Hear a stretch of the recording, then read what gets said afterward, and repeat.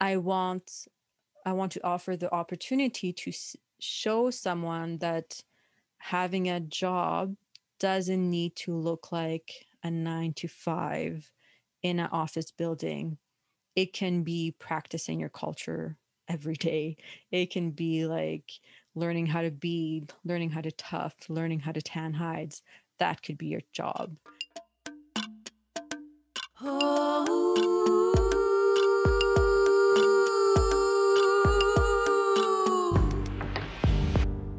Everyone, welcome to Venture Out, a podcast series from EntrepreNorth that shares the brave stories of Northerners who are inspiring innovation and community well being through business. I'm your host, Zena Cowan. We have fires across the tundra. We are ice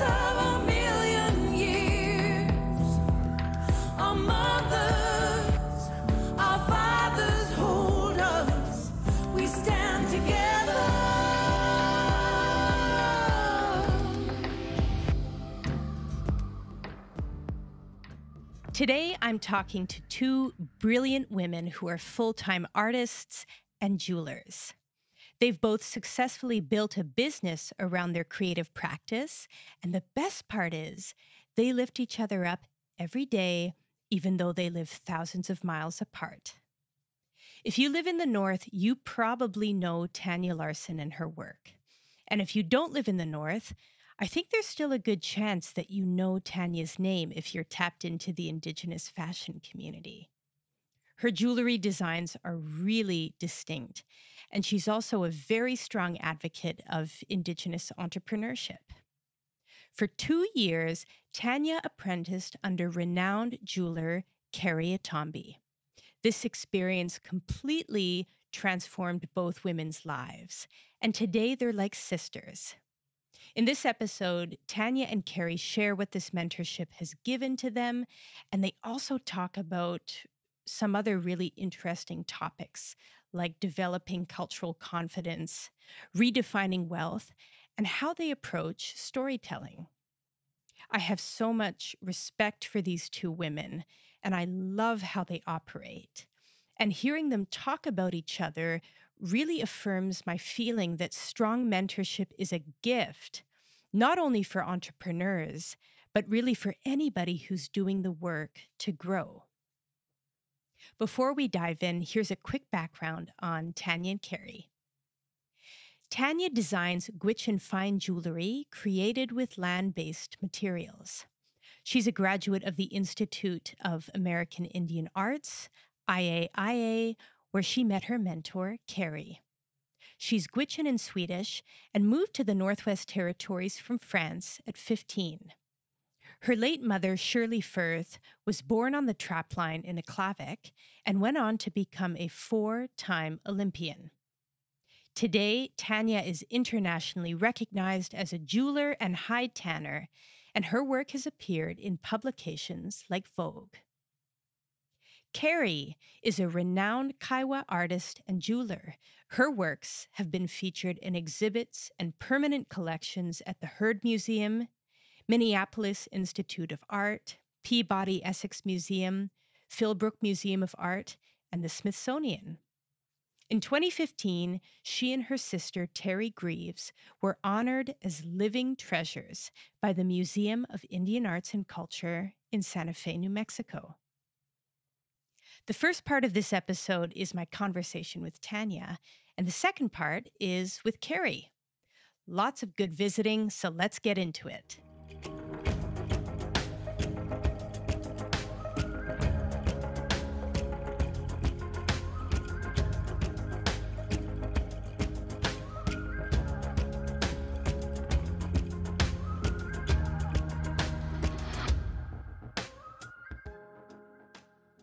Welcome, Tania. I'm super excited to be speaking with you today and can't wait to hear about where you're at these days with your business. Do you want to start by introducing yourself? Drin gwiinzii. Um, my name is Tania Larsson. I'm a Gwich'in fine jeweler. Um, I'm based out of Yellowknife, Northwest Territories, and I sell jewelry online under uh, my website, tanialarsson.com. Beautiful. Tania, I know that your business has taken you on a really incredible journey and that a lot has happened for you, especially in the last couple of years. Curious, when you were initially designing jewelry and first making pieces, what was your initial intention or goal? I wanted to be able to wear something on my body as a cultural indicator of where I was from. And so, you know, indigenous jewelry, uh, when you ask, like when you think of what does indigenous jewelry look like, you'll probably think of, you know, turquoise from the Southwest, or maybe uh, feather earrings, or maybe, um, you know, beaded fringe earrings and uh, or even like those huge powwow blingy earrings. um, I wanted to create jewelry where when you looked at it, you're like, uh huh, this person, you know, is probably Gwich'in, or this person is, you know, indigenous from the north. So I wanted to really include those elements and make sure that that connection to the land that is so deep in our culture up north is embedded in those adornments and to really shine a light on how important uh, those elements are to our traditions and how much we value that work. Tania, I know you, and I know that uh, you put a lot of thought into everything you do. You love to research and go down rabbit holes. Can you talk a little bit about the learning journey that you uh, went on and got to a place where you felt really ready to launch your business? Absolutely. This was not overnight. This was, this took me a long time to um, to figure it out because as a teenager you want to you know be unique and have an identity and like where do you belong to which crew are you from like all that kind of stuff and so for me i wanted to be able to wear jewelry and so i started small i started with like fringe earrings and then i started doing some beadwork on moose hide i used leather and studs because i love jamie okuma's work and then i really wanted to answer that question what does you know Gwich'in jewelry look like?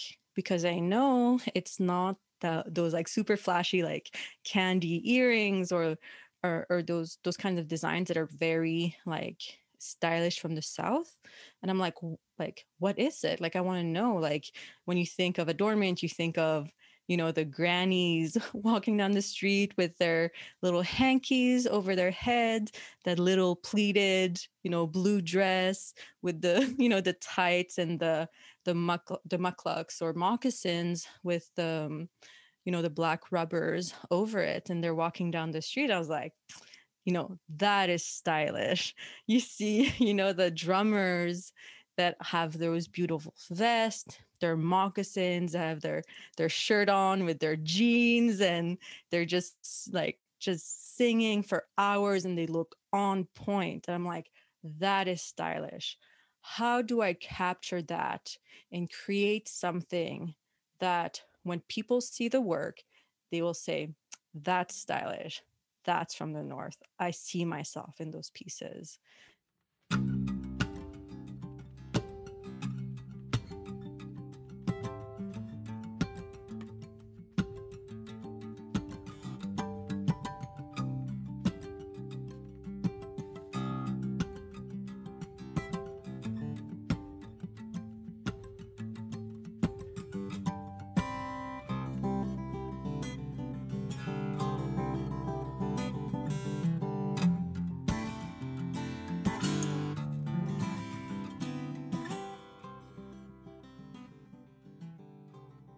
Figure that out took me years to get the skills took me years and i went the long route not only did I had to build my own confidence as a as a Gwich'in woman, but also as a Gwich'in woman that was born and raised in France. Like I moved to the north when I was 15 years old. And so oftentimes people will say, You're not Gwich'in, you're not from here. Like people who have hurt that they're carrying, you know, and I realized that, huh, if the only thing you can accuse me of is you're not Gwich'in, I must be doing something really right because um, I know I'm changing the way things are done. And I know that I'm also really upholding how things have been done for thousands of years. So it's kind of like a balance. And it's like, how do you honor your culture and take that responsibility, yet create a new product that supports it and that supports the resurgence of our culture and our pride in being Indigenous today? Wow, that's such a huge shift for a 15 year old. What was it that drew you home to the North? Um, well, we actually moved here because I wanted to learn my culture more. I wanted to like become closer to my family. Uh, my mom was born, you know, on the land in the Arctic, um, in Aklavik. Her parents had a dog team. Um, her dad was a trapper. Her mom was like an amazing sewer. Uh, and so, yeah, my mom, you know, her name is Shirley Firth. She became an Olympian and traveled the world, but she had a very strong connection to where she came from. Her um, her mom, Fanny Rose Greenland, and her her dad, Stephen Firth, were, you know, they had well, 12 children. and like they, you know, like the mem- her favorite memories was like being next to the Mackenzie River, listening to all the like icicle chime in the water during breakup during the spring season. And I always wondered what that sounded like. I was like, because I don't know. I've never experienced that.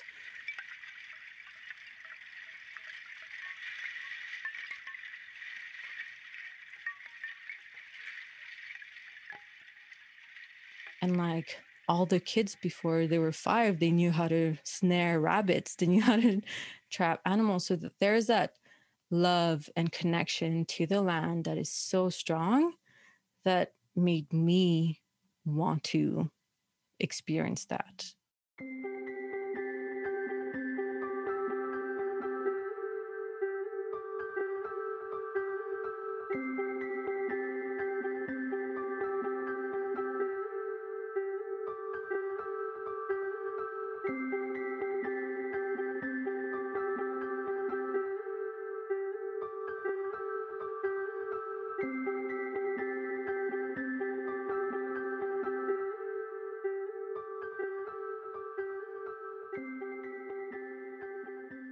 What was the hardest was actually accessing my culture. And I thought that moving across the ocean from Europe to northern Canada, it would be way easier to to access it, and it wasn't. And so then I had to learn about like things you don't really learn about in a way that's like colonization. Residential school was brought up, like was talked about in the press like two years after I moved, and I had no idea what that meant. I had no idea the impact of these laws and policies put in place by the Canadian government to assimilate us and eradicate our communities, our relationships to the land, our relationships to each other, and really our pride in being who we are today.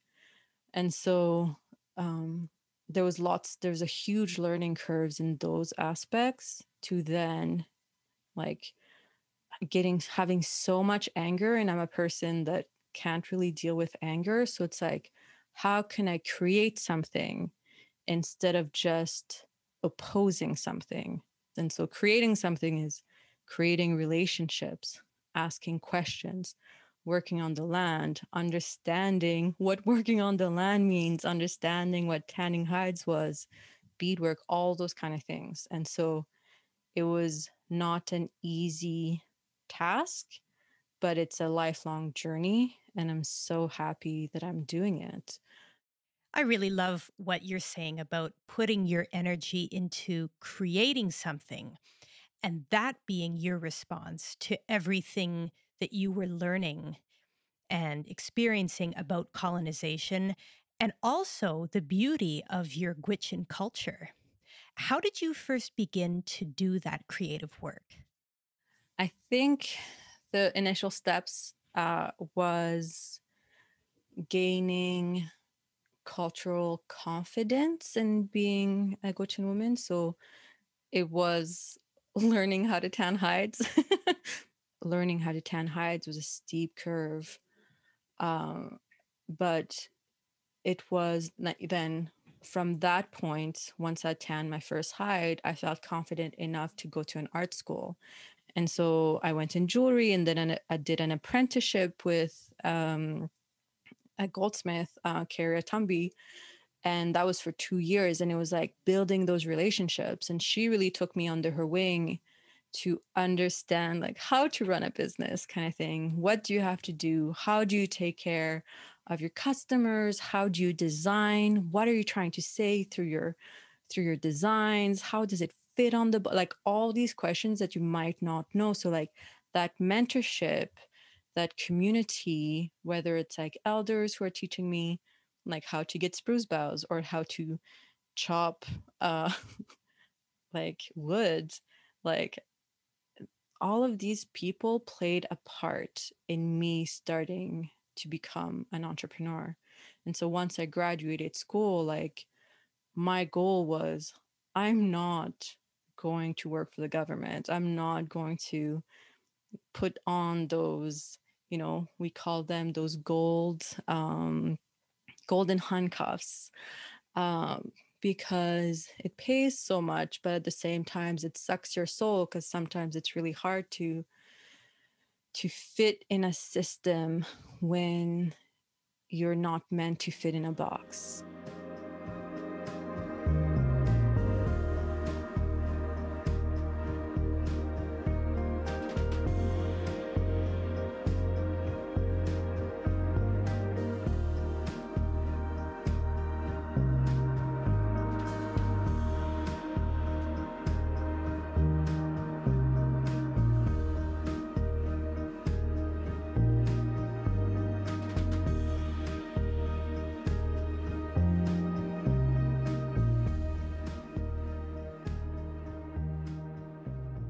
Okay, I want to go back to that mentorship piece with Keri, but before we do, let's unpack the hide tanning because it is such a core part of everything you do and it's woven into your business model and how you spend time with community on the land.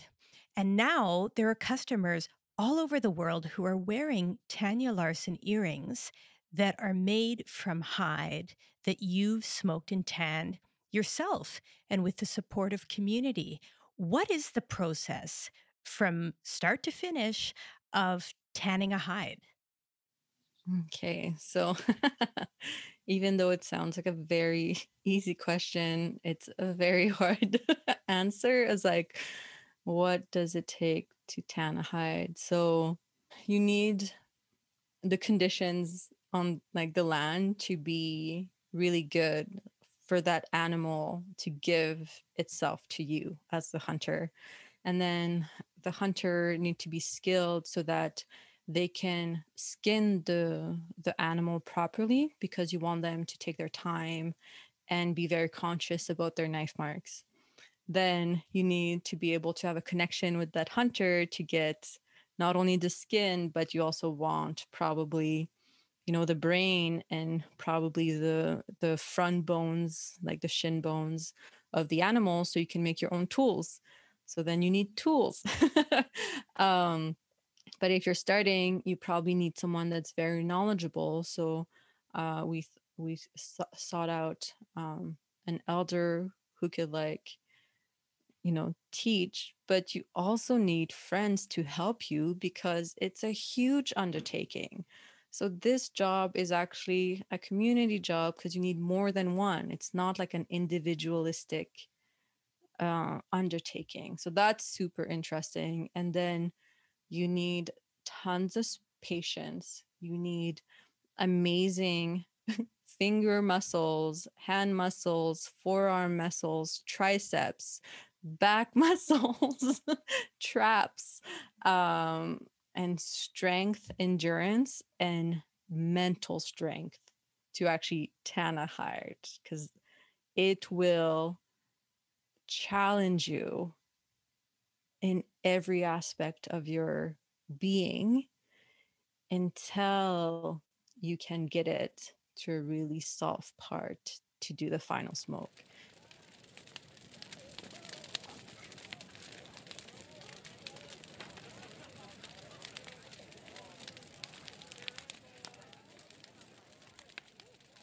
It's completely changing your worldview and challenging really your worldview of like this activity is going to fit in my schedule.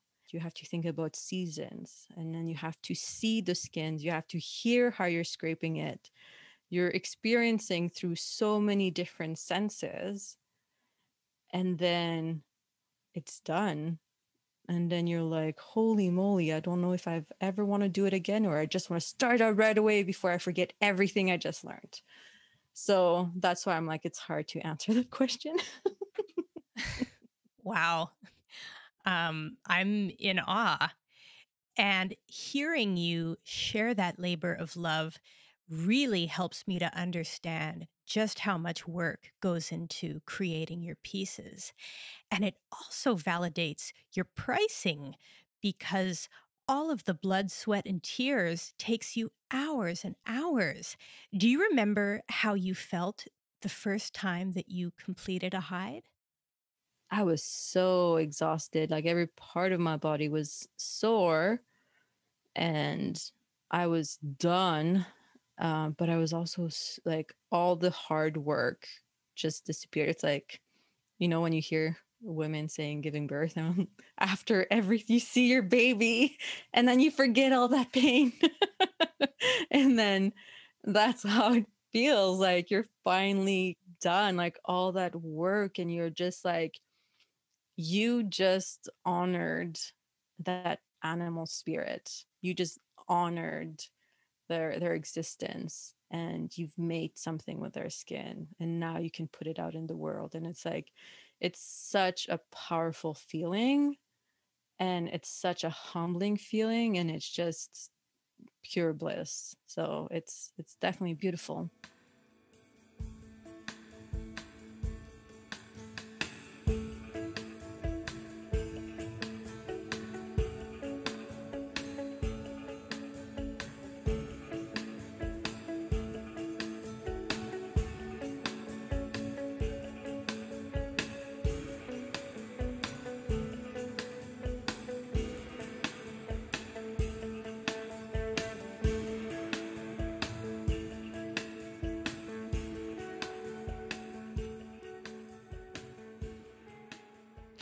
Now, let's talk about art school. You went to the prestigious Institute of American Indian Arts, IAIA, in Santa Fe, New Mexico, and that's where you met Keri. I want to hear all about your relationship with her. Um, well, I first, I think I first met Keri when she became my jewelry instructor for my intro to jewelry. And um, it was like she was really challenging and like really wanted to see your research and your thought process and your designs and why are you doing the things you're doing? Like are you just copying? Can you take like look at something but make it your own? Why do you want to use this process? Why do you want to use this technique? Why do you want to use like um you know these influences but she teaches like she taught me how to like go look at references and not just take it but like making it your own and how can you do that? And i think for me that was super important um because oftentimes you're not taught that. She didn't accept me as her apprentice right away like she didn't like it was not overnight being like hey can i be your apprentice? It like it took some time to vet me i think it was over a year and a half even after i was her student. For me that relationship became you know she was my mentor and then she was my friend and then she became like my older sister and so it's like we are going to be in each other's lives for the rest of our life. It's such a powerful relationship and i know that i'm honoring her by saying her name and i think that's important whenever you you like go you know on in the world as if you've ever been inspired by someone or like you've been gifted the time or like techniques or stuff like it's always important to honor them and one way of doing that is just saying their name and that's how you leave a strong legacy. It's like you talk about those people and those people will live a long time through you and your work and what a what a beautiful gift to give back to the people who've mentored you and helped shape you as an artist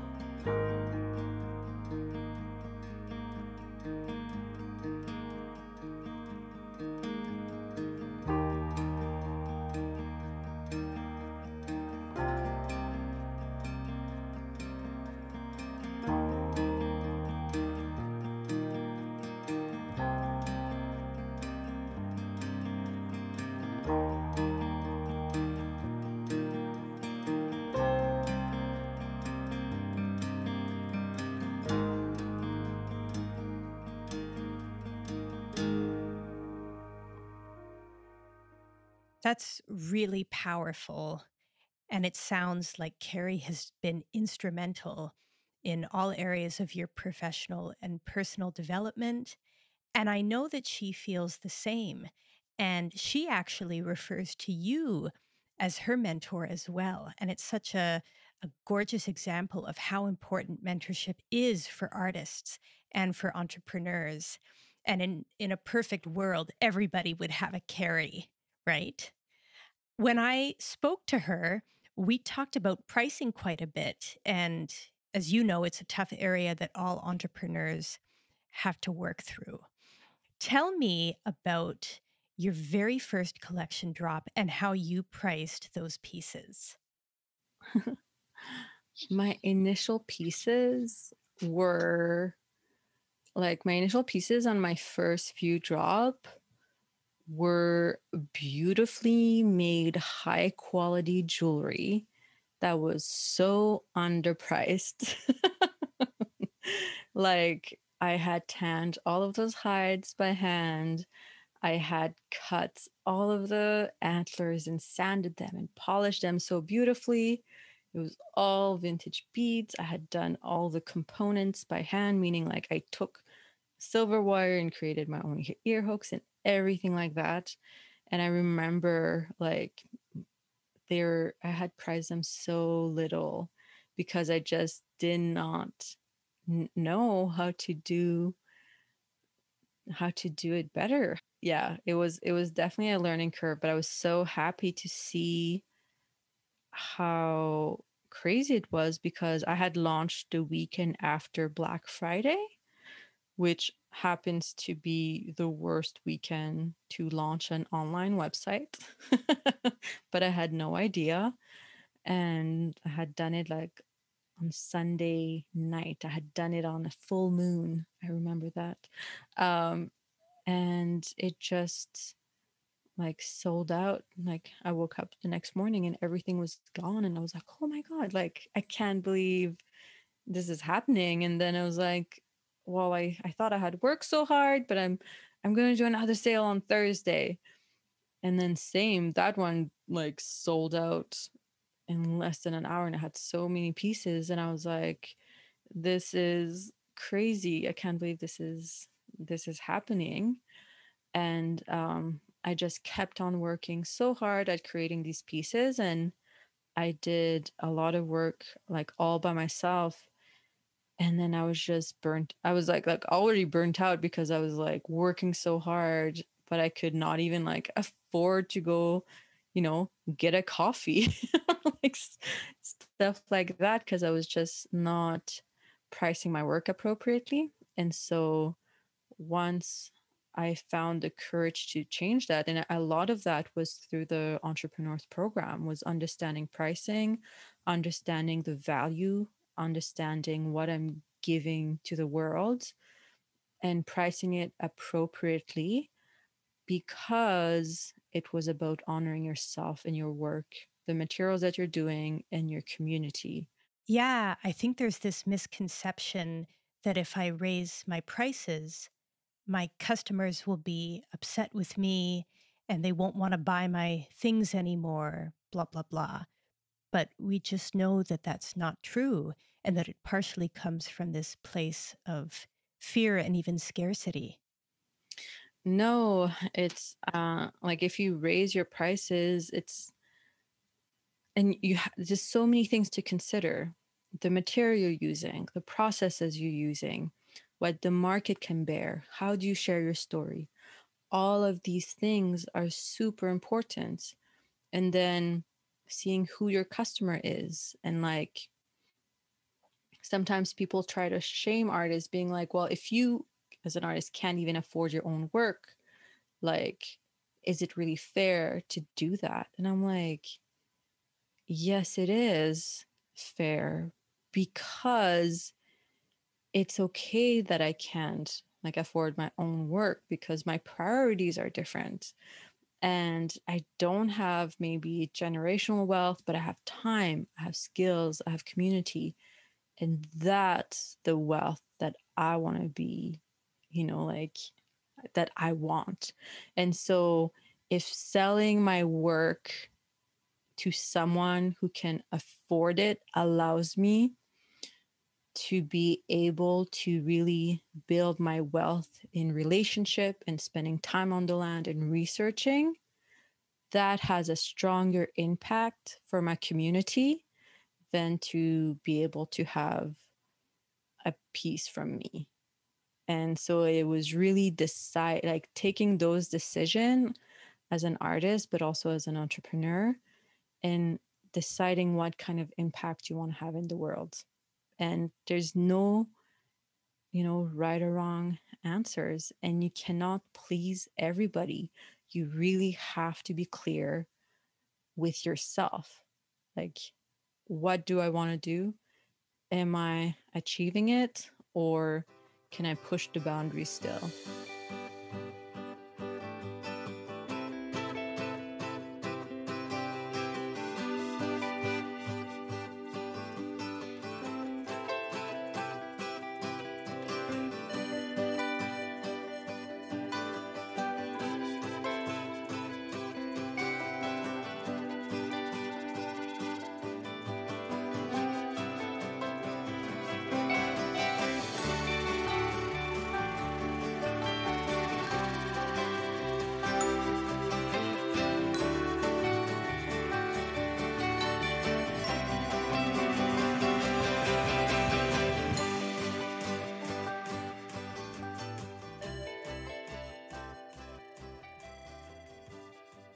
part of what I love about you is how intentional you are about your decisions as an entrepreneur.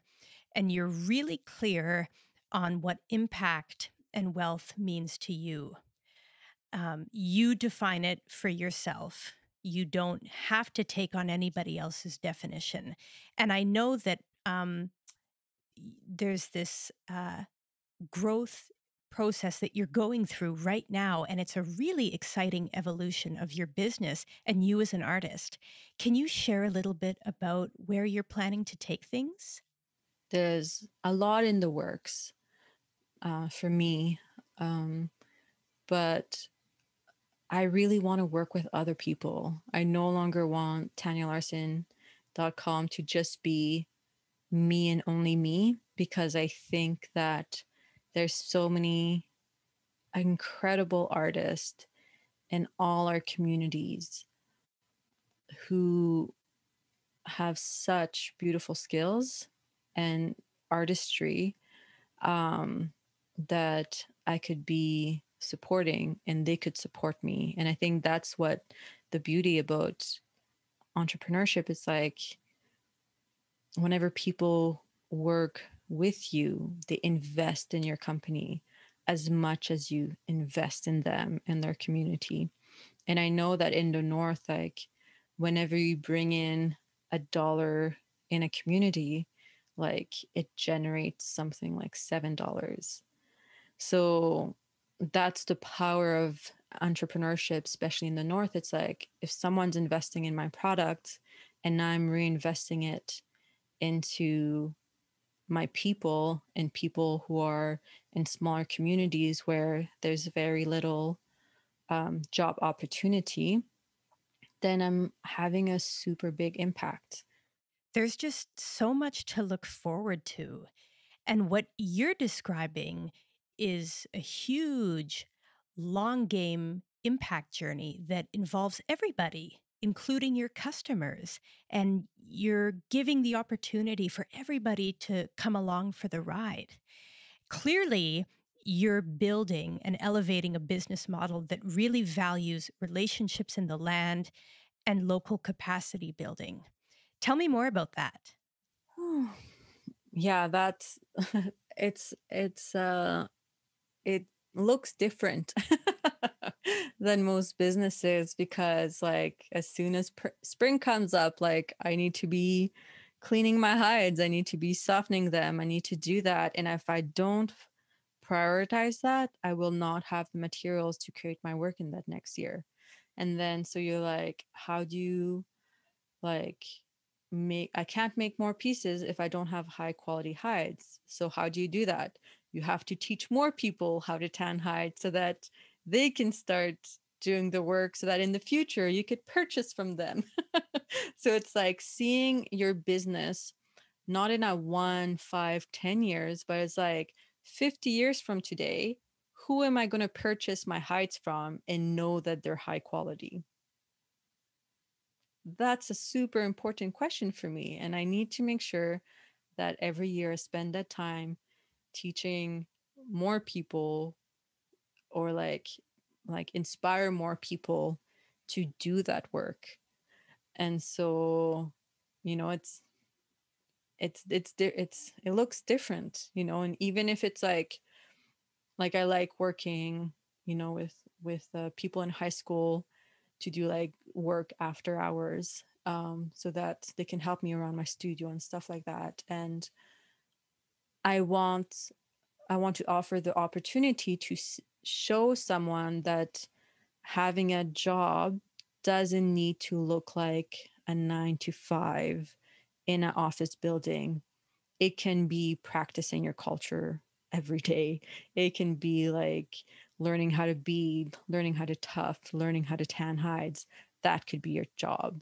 It's it's a it's a different way of doing business and I think that it's okay to move away from traditional business because what does that support? And what kind of worldviews does that support? Yeah. Peace was the word when you first learned how to sing. Now it's so cold the way we view everything. love it sustains the hope and light, light in your soul.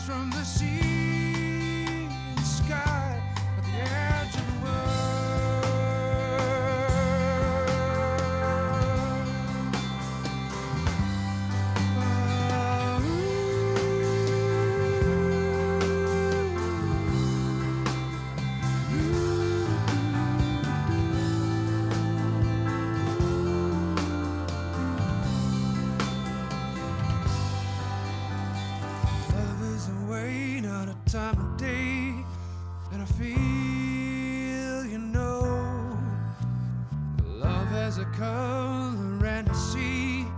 You're a shine.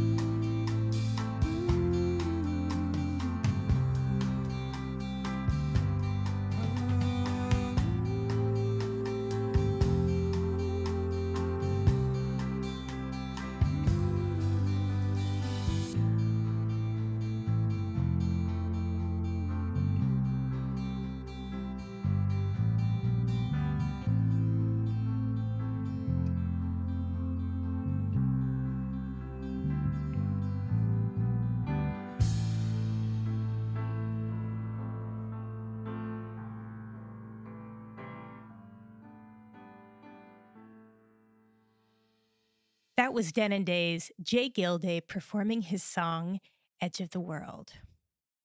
I'm always really struck by Tania's commitment to innovation and excellence. She's always pushing the envelope.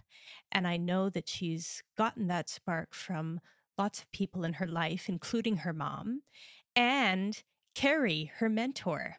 This next part of the episode is my interview with Keri, and we connected over Zoom. She was in her studio in Cerrillos Hills, which is a little outside of Santa Fe. And I think Keri just has this electric energy and this deep desire to be an auntie of the world.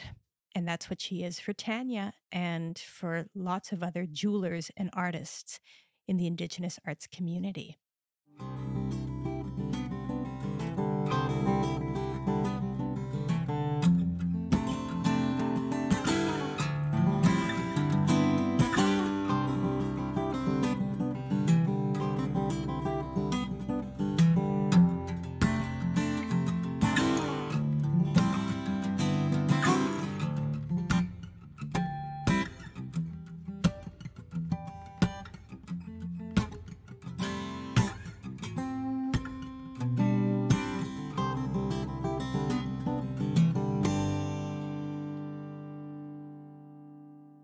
It's such an honor to be speaking to you. Um, I'm feeling a little starstruck, actually, and I'm so glad that you've decided to zoom in with us from your gorgeous studio.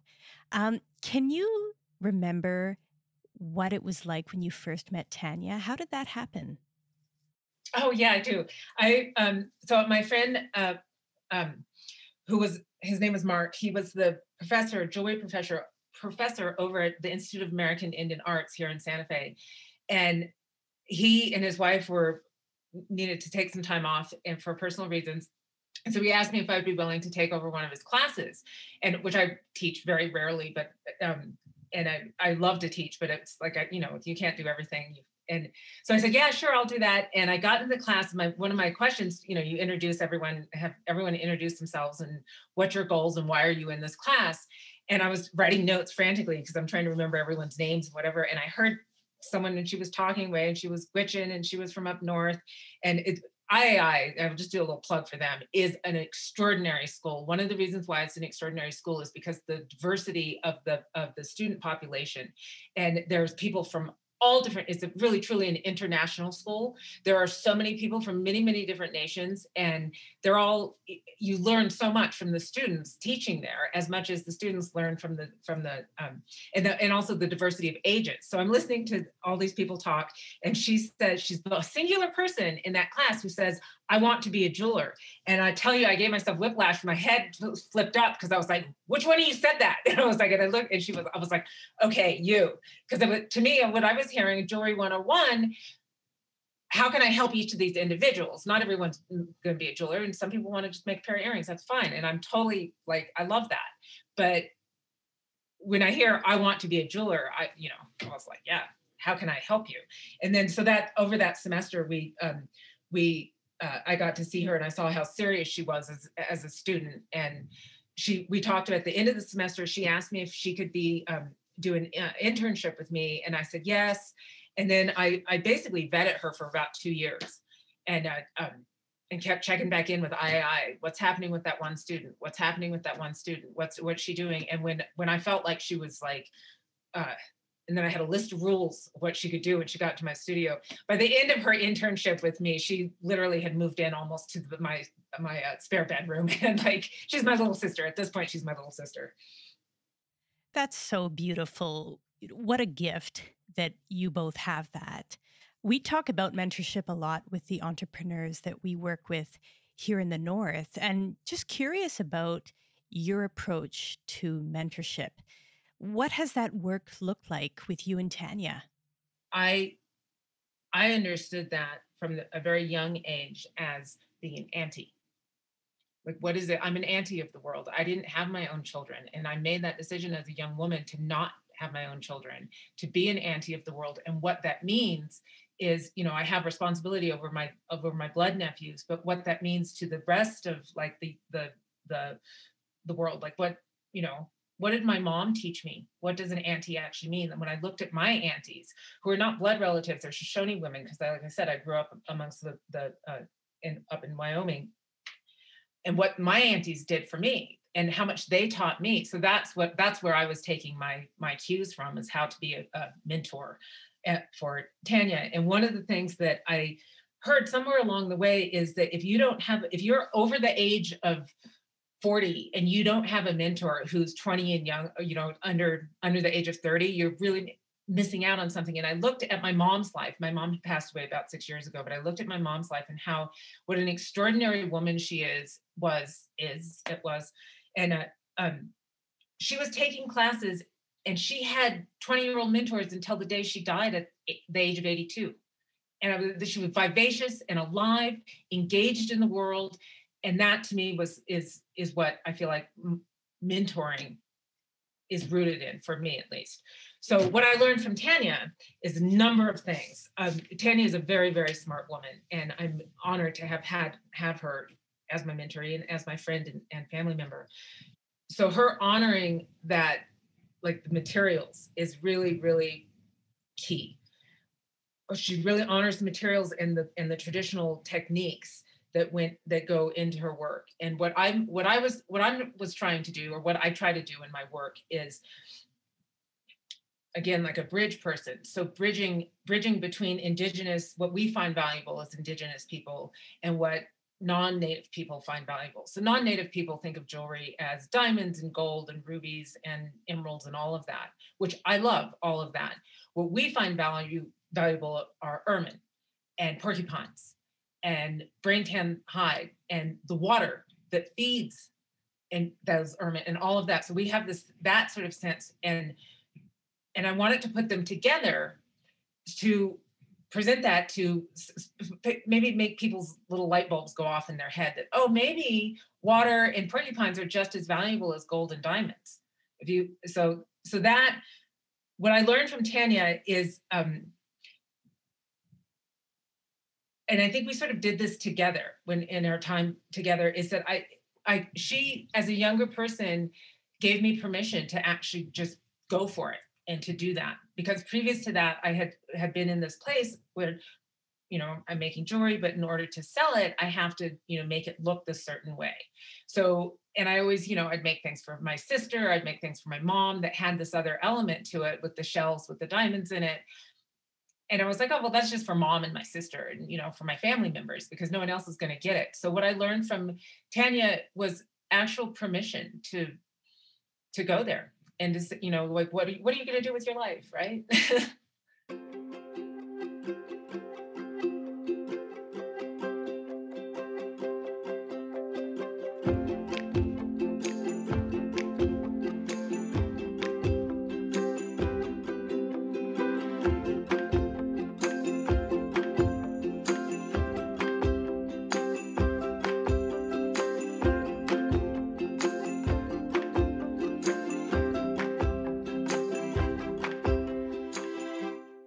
this is such an important conversation. And I'm glad that you and Tania have explored this too, together because she's brought it into the entrepreneur's classroom.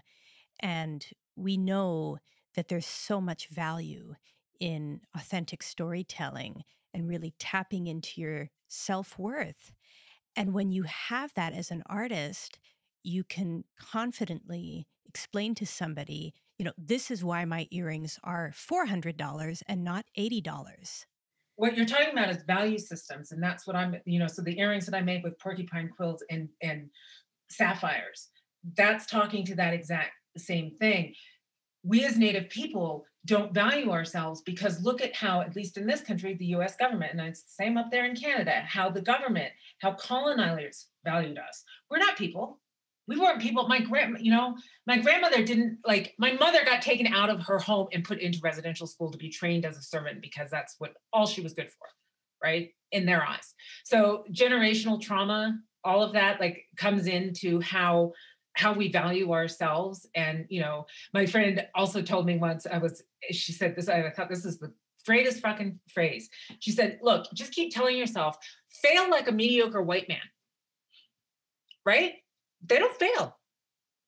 They don't fail. Oh, oh, that didn't work out. No problem. Here's more money. Here, just like start up again. They just water off a duck's back.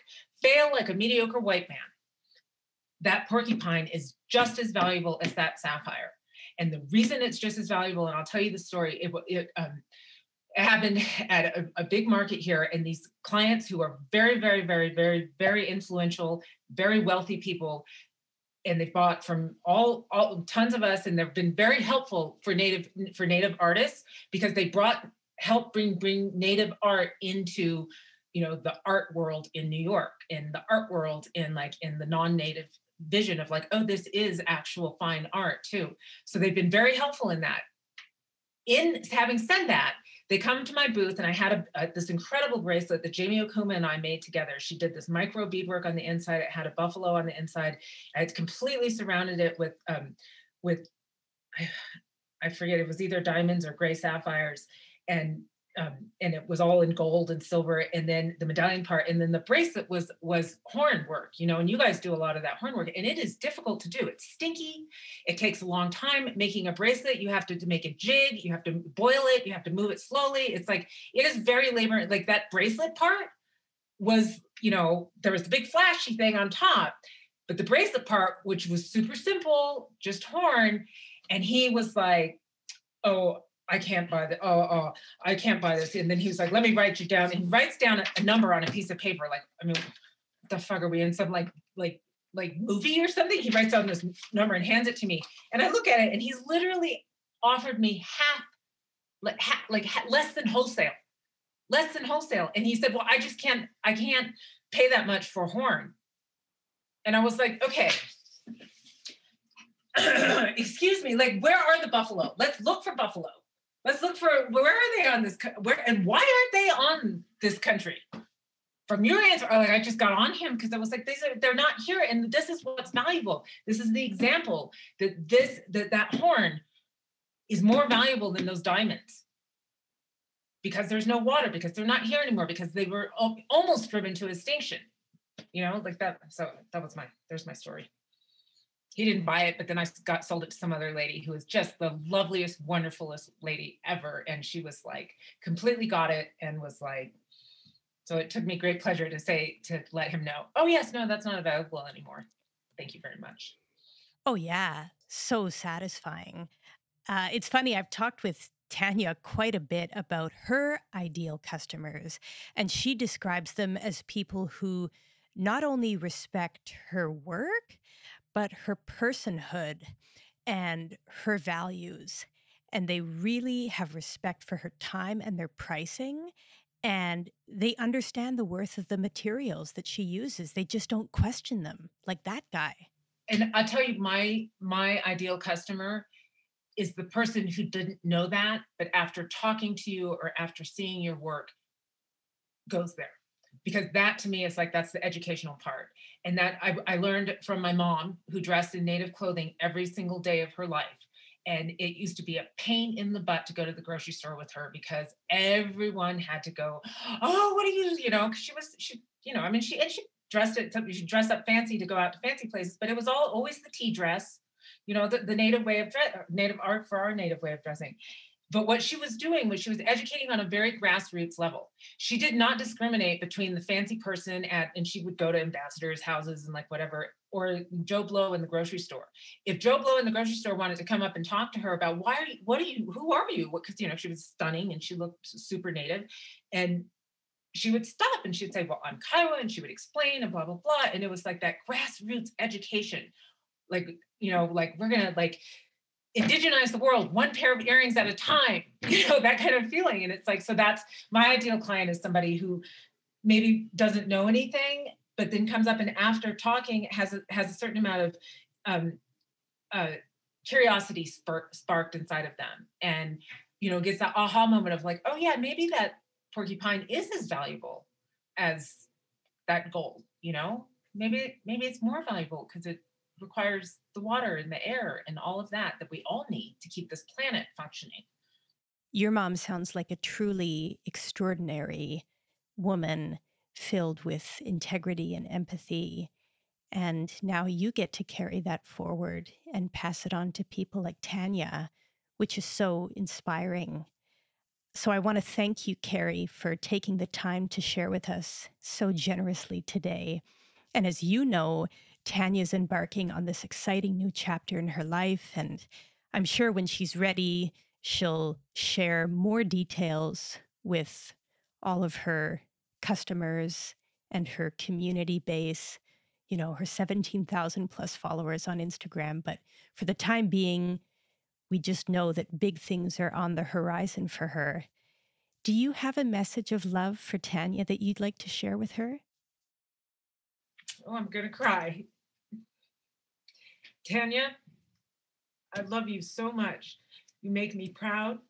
But not only do you make me proud, I know that my mom is proud of you, your mama is proud of you, and all of those women who've come before us are proud of you. You are such a smart person, such an inspiring person, and such a creative person. It has been an absolute pleasure to have you be in my life.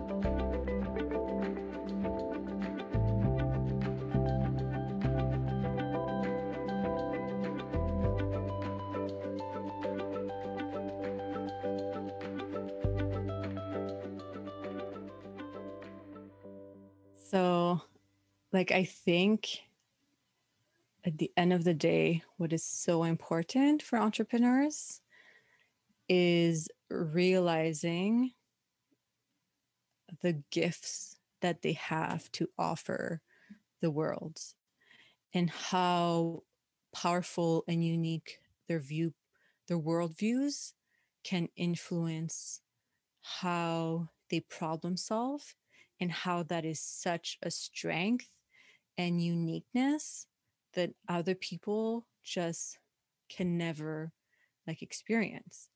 And so it's like what's important is really building that confidence because like what happens when you think differently or when you experience the world differently or see the world differently than the majority is that throughout your life people will probably have tried to dim your light they've probably had tried to put you back in your place like the patriarchy love to say. And so it's so important to realize the unique gift you have to offer the world the world and it can be in any subjects. And if you can problem solve something in a good way that's what you can offer and create a business around. And i think that if i knew that that's what was entrepreneurship and really pushed those ideas like i think a lot more people could be um, entrepreneurs in the north. And always remembering that if an indigenous person status indian wanted to own or run a business like wanted to yeah own a business they had to give up their status they had to like check whites in their in the box you know because of the the policies implemented by the government of Canada. And so, you know, some people had to choose between running a business and being indigenous uh, in the on paper. And so, like, imagine how that has impacted our communities. And, you know, just remember that today you don't need anyone's authorization. You don't have to hand in your identity papers so that you can run a business. And so, like, just your existence and on top of that, running a business, like, that is so powerful. That is such a huge statement.